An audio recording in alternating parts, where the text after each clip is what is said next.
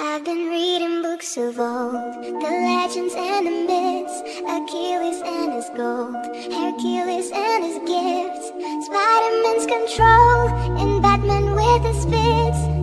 And clearly I don't see myself upon that list. But she said, where'd you wanna